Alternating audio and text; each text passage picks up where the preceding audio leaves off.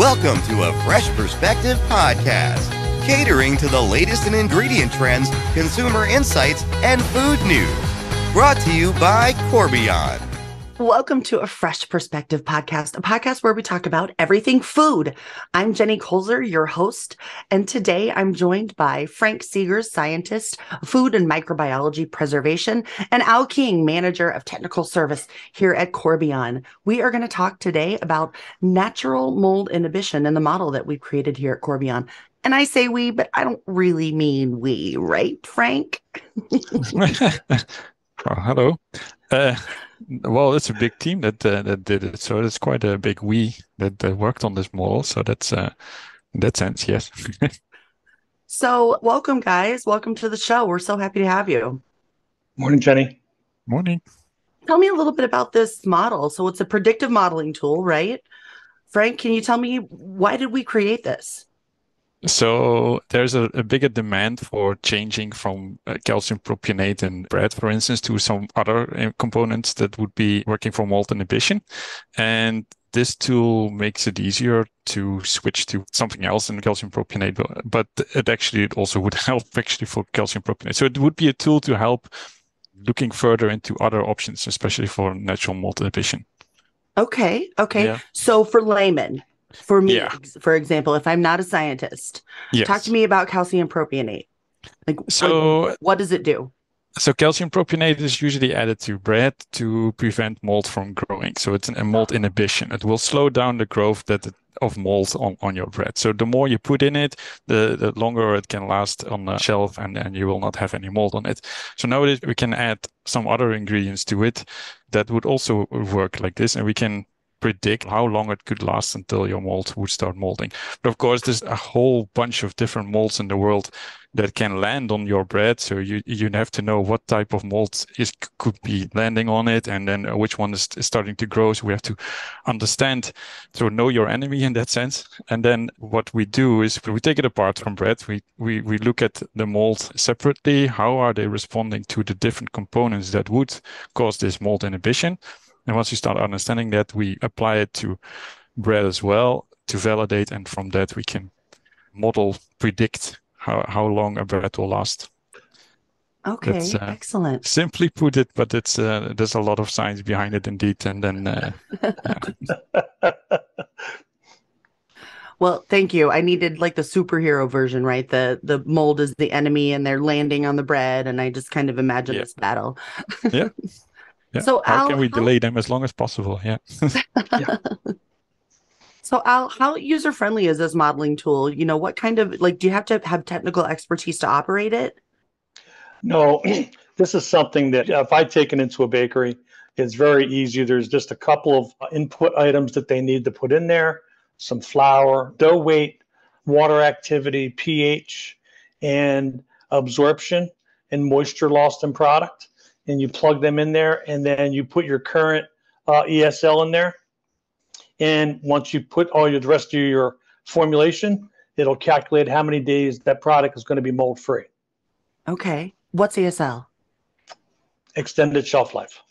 Ah, I see. So you put in there how long you'd like it to last, basically. Correct. And every customer is different. Some customers want 12, some customers want 14 days, some customers want 21 days. So depending on the amount of uh, mold-free days they want. That's how we use the application.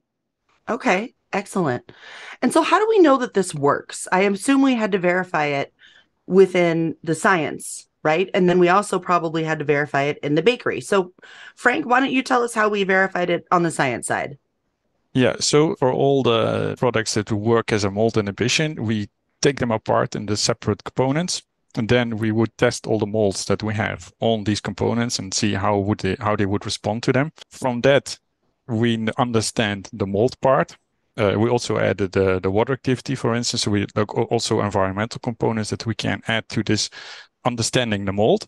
And then we move to the bread, where we're producing very strange bread in a way, where we're playing around with the same type of components. Then we test the mold again on the bread, and then we see how long it takes until it starts molding. And from that, we can then combine the, the two together and we end up with a predictive model. So we understand how well it, it would work when, when, when we start using our components with all the components combined. And that it works quite well because yeah, you do some validation studies on that, and then uh, then you know how well you can predict it. Of course, it's can never predict everything 100% correct, but it's it's uh, it's quite uh, accurate. Yeah. Nice.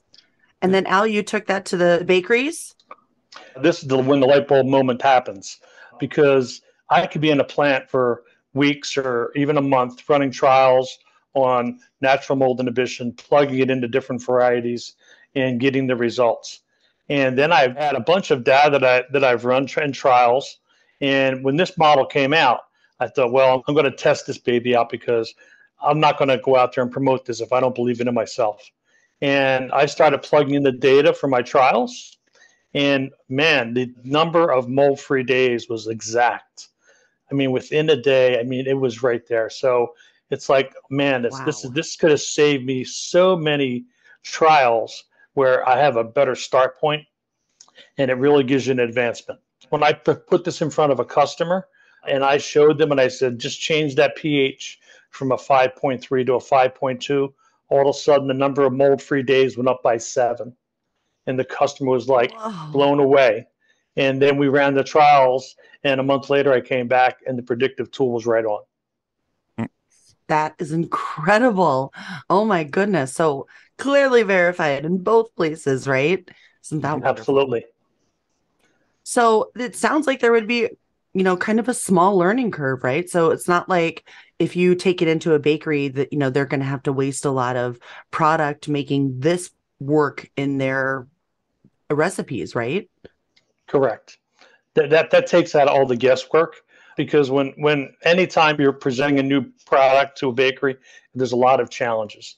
The bakeries today have enough challenges with staffing and everything else that's going on. They don't need somebody to come in and say here we want to test in your bakery and we're going to be here for three months. That's just not today's world.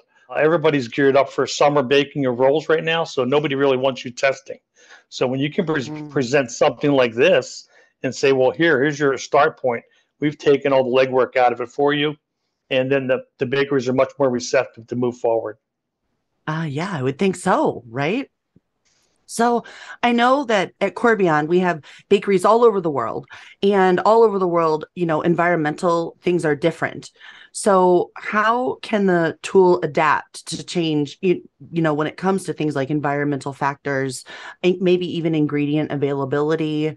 Frank, is there something specific that that the tool can do to make it work everywhere?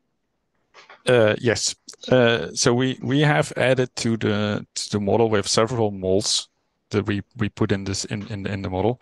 And we have this preservation tolerant molds group which is very the typical molds that are difficult to handle. And you will find them more most often as the problematic molds in regions where they use a higher amount of calcium propionate in the past. So the so that would be for the the, the US and um, for Europe they have stand lim well there's limitations on how much propionate you can use.